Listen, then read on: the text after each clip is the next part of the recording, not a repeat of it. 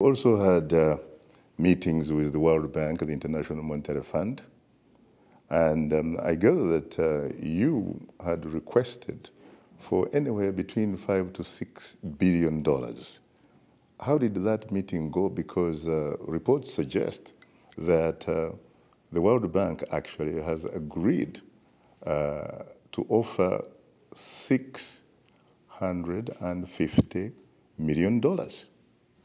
Well, let, us put this in context.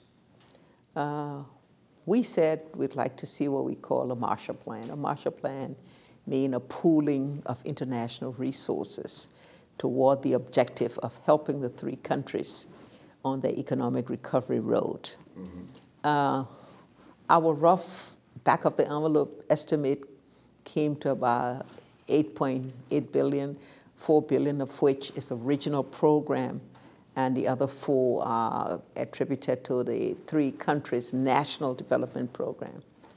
Uh, we knew that this is an indicative program. We also knew that we already have, all three of us, national programs for which commitments and pledges have already been made uh, for different types of programs that are very consistent uh, with the overall program that we had formulated.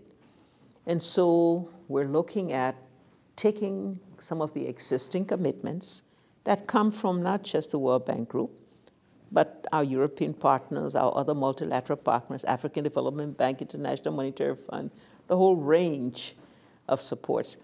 Taking that and then looking for additionality that will take us to this amount. So when the World Bank said 650 million, that is additionality.